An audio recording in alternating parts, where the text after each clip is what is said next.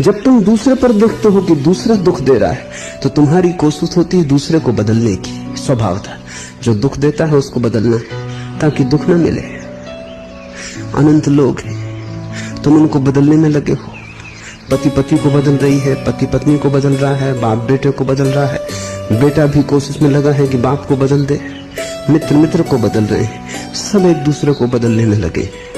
दूसरे को तुम कैसे बदल सकते हो? दूसरा स्वतंत्र है। उसकी अपनी नियति है दूसरे का अपना आधार है, अपना केंद्र है, दूसरे का अपना स्रोत है जहाँ से उसके मनोभाव उठते। तुम दूसरे को नहीं बदल सकते। तुम अगर किसी को बदल सकते हो तो स्वयं को, लेकिन वहाँ तो नज़र ही नहीं। मन वहाँ देखने ही नहीं देता। जैसे ही कोई व्यक्ति स्वयं को देखता है, वो पाता है सुख भी यहीं से उठते, दुख भी